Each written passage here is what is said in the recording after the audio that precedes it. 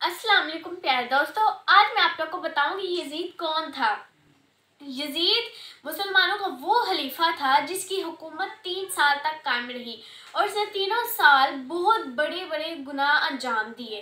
पहले साल उसने इमाम हुसैन सलाम को उनके पूरे खानदान के साथ उनके अहले बैत के साथ शहीद करवाया। दूसरे साल मदीना में मुसलमानों का कत्ले आम कराया अपने को तीन दिन के लिए मदीना की खवतिन और उनके मालो दौलत को हलाल करार दिया। तीसरे साल हना काबा के ऊपर आग के गोले बरसाए गए। यहाँ तक कि गुलाफ काबा भी जल गया और हना काबा के अंदर मौजूद तबरक़ात भी जलकर खाक हो गए। इसलिए हम यजीद को लानत का हकदार समझते हैं।